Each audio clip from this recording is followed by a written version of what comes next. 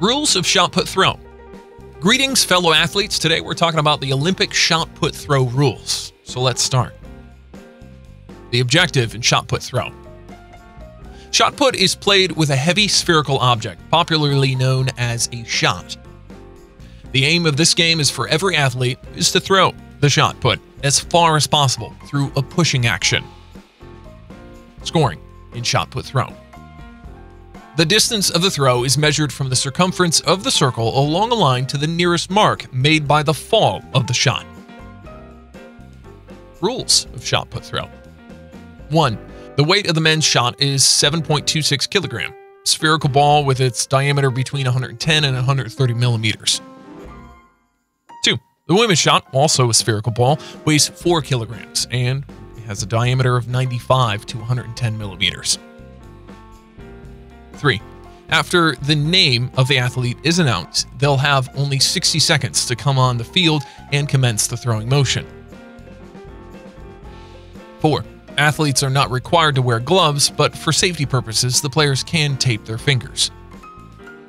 5. Initially, the resting position of the shot is near the neck and it should remain over there throughout the motion. 6.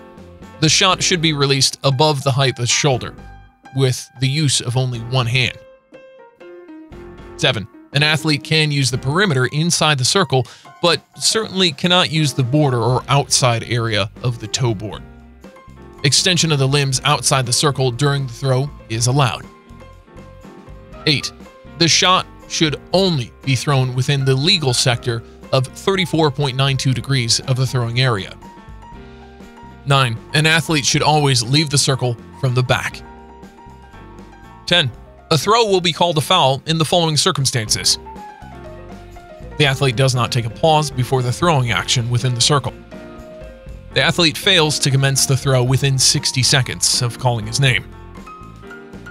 The athlete holds the shot below the shoulder level or outside its vertical level. The athlete goes out of the circle before the landing of the shot. The athlete does not move from the rear half of the circle. The athlete is not able to make continuous contact of the shot with the neck and it slips off. 11.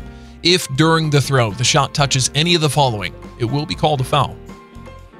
Top or ends of the toe board, upper side of the iron ring, at any position outside the circle. This is it, folks. Make sure you thoroughly go through the rules before participating. Share with us your experiences in the comment section down below. If you like the video, hit the like button and don't forget to subscribe to our YouTube channel.